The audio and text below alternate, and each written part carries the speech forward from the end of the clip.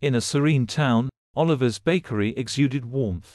One evening, he found money missing from the register, stirring suspicion. Despite trust in his staff, doubt lingered.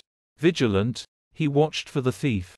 One day, he caught a nervous boy eyeing the register. Tearfully, the boy confessed, stealing to feed his family. Touched, Oliver offered him a job and support. Learning to trust and show compassion, Oliver's bakery became a symbol of unity. Through forgiveness, suspicion transformed into empathy, enriching all.